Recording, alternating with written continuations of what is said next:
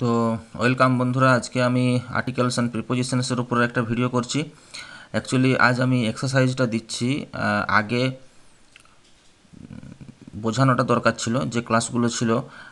I have prepare two classes one on articles and one on prepositions তো সেই ভিডিওগুলো edit করাতে একটু অসুবিধে আছে এখনও হয়নি। তাই আগে আমি এক্সারসাইজটা করছি। চলো এক্সারসাইজের মধ্যেই তোমাদের বুঝিয়ে দিই। ওই ক্লাসগুলো তারপর দিচ্ছি। এখন আর্টিকেল প্রিপোজিশন তো তোমরা জানোই মাধ্যমিক লেভেল থেকে শুরু করে এইচএস লেভেলে টেক্সচুয়াল থাকে, মাধ্যমিকে নন টেক্সচুয়াল থাকে। তার সাথে তোমাদের চাকরির পরীক্ষাতেও থাকে। তো চলো একবার এগুলো আমরা দেখি। পঁয়তাল্লিশটা আর্টিকেল প্রিপোজিশন আছে। সবগুলো একটাতে না হলে নেক্সট একটা ভিডিও করব। আর্টিকেল প্রিপোজিশনের একটা সিরিজ আমরা করতে চাইছি। তো তোমরা যদি চ্যানেলটা নতুন হও ইংলিশ সম্পর্কে জানতে চাও তাহলে চ্যানেলটাকে সাবস্ক্রাইব করে পাশে থাকবে। তো চলো শুরু করি। এক নম্বরে কি আছে? The leaves are falling dash the tree তো কি প্রিপোজিশন হবে বলো? আমি এখানে অ্যান্সারগুলো লিখে লিখে যাচ্ছি। The leaves are falling from the tree the leaves are falling from the tree গাছের পাতাগুলি পড়ছে গাছের থেকে ফ্রম মানে থেকে। He goes dash market he goes to market go বা ওয়েন্ট ভার্বটার পরে জেনারেলি টু হয়। He went to market I am going to market okay তিন নম্বরে দেখো, ঋতু লিভস ড্যাশ আমতলা। এটা হবে অ্যাট এটা কোন নিয়মের আন্ডারে আসলো? না, জায়গা। ছোট জায়গা হলে অ্যাট হয়, বড় জায়গা হলে ইন হয়। তো আমতলা যেহেতু কোনো রেপুটেড প্লেস নয়, সেহেতু আমরা অ্যাড করলাম। কলকাতা, মুম্বাই এই ধরনের হলে বা কোনো ডিস্ট্রিক্ট টাউন হলে ইন করতে পারি। চার নম্বরে দেখো the sky is dash our head আকাশ আমাদের মাথার ওপরে। এখানে হবে কি বলতো? অ্যাবাভ চার নম্বরটা হবে above A B O V E above তো এই ওপরে নিয়েও তিনটে প্রিপোজিশন আছে। অন একটা ওভার একটা, আর অ্যাবাভ একটা। অন বলতে কোনটা বোঝায়? যেটা টাচে আছে। ওকে যেমন আমি যদি মাথায় একটা ঝুড়ি নিয়ে যাই I am carrying a basket on my head okay যেমন বইটা টেবিলের উপরে আছে the book is on the table কারণ টেবিলটা ছুঁয়ে আছে। এইগুলো অন হয়, ওভার মাথার উপরে কিন্তু ছুঁয়ে নেই, যেমন সিলিংটা, সিলিং ফ্যানটা। Okay the ceiling is over our head R above বলতে কি বোঝায়? মাথার ওপরে যে কোনো জায়গায়, যেমন ঘুড়ি kite bird aeroplane sun moon এগুলো অ্যাবাব হয়। Keep the duster on the table পাঁচেরটা। ওই যে নিয়মটা বললাম, এখানে টাচ করে আছে so on the table my brother is dash the university ছয়েরটা হবে my brother is in the university আমার ভাই ইউনিভার্সিটিতে আছে।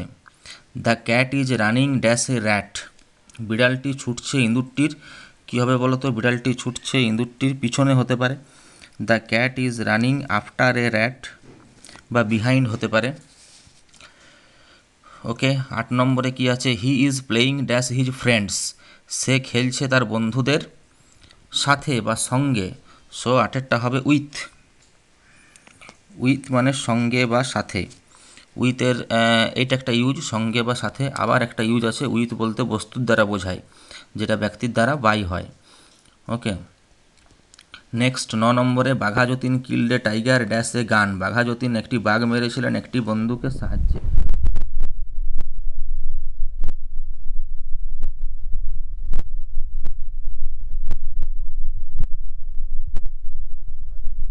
আমি আমার বাবার সঙ্গে বাজার চাই আর এখানে বস্তুর দ্বারা Bagha Jatin killed a tiger with a gun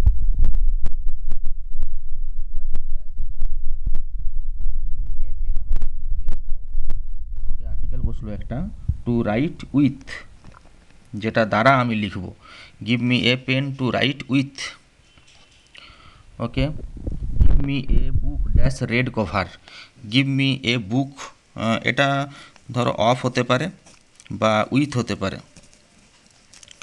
Give me a red book of red cover লাল মলাটের বই দাও এর সম্বন্ধ, অথবা উইথ লাল কভারের সঙ্গে বই। What is the time dash your watch? এটা একটা পার্টিকুলার প্রিপোজিশন বসে, যেটা বাই হয়।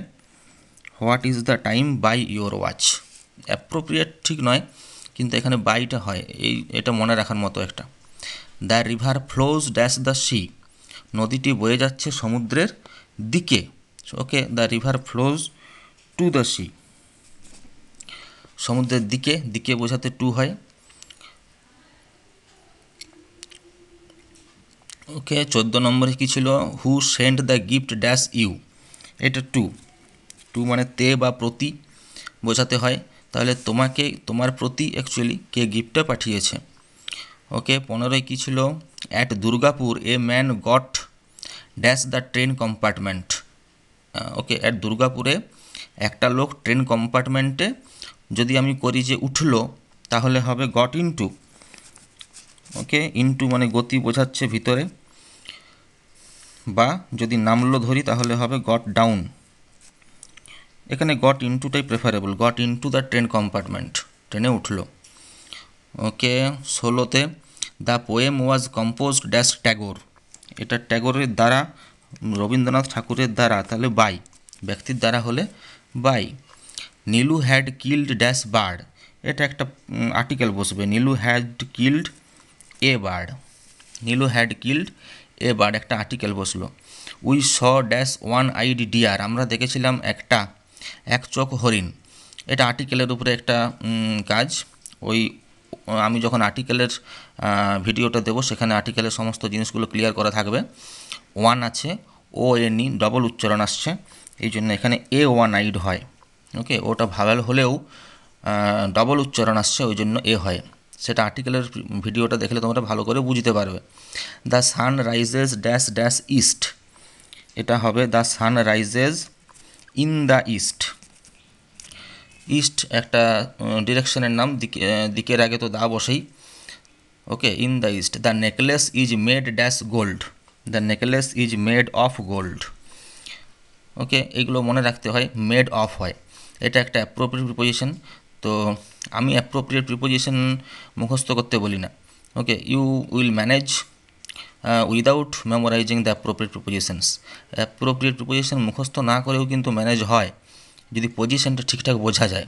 আর কিছু কিছু মনে রাখা, যেমন মেড অফ গোল্ড তো যখন তুমি করবে বাড়িটি ইট দিয়ে তৈরি, তখন একই রকমভাবে the house is made of bricks next একুশ number we write dash ink আমরা লিখি কালি দিয়ে বা দ্বারা। তাহলে বস্তুর দ্বারা with. We play dash the field, we play in the field, আমরা মাঠের মধ্যে খেলি। ওকে, নেক্সট চলো দেখি। তেইশ number tie the bundle dash a rope tie মানে বাঁধা।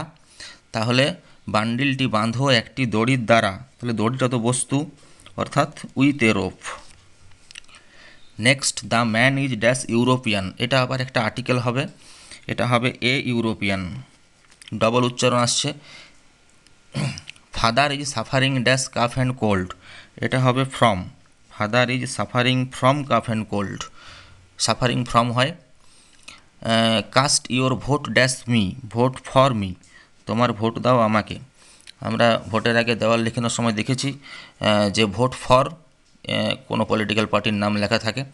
So vote for me vote for এটা অ্যাপ্রোপ্রিয়েট পজিশনেও বলা যায়। Try to finish the work dash an hour in an hour কাজটা শেষ করার চেষ্টা করো এক ঘণ্টার মধ্যে। My elder brother lives in the USA কোনো দেশের নাম যদি শর্টভাবে থাকে, অর্থাৎ অ্যাব্রিভিয়েশনে থাকে USA means United States of America সেক্ষেত্রে দা বসে। He moves dash place dash place he moves from place to place from place to place okay আর একটা আমরা করব। তিরিশ নম্বর, বাকিটা নেক্সট ভিডিওতে। You should abstain dash telling a lie you should abstain dash telling a lie you should abstain from telling a lie abstain from একটা appropriate position okay বা যদি আমরা ন্যাচারালি ধরি, তোমার মিথ্যা বলা থেকে বিরত থাকা উচিত। এইভাবে দুটোতেই কাজ হয়ে যায় অ্যাপ্রোপ্রিয়েট মুখস্থ না করলে যদি আমরা ঠিকঠাক বুঝতে পারি।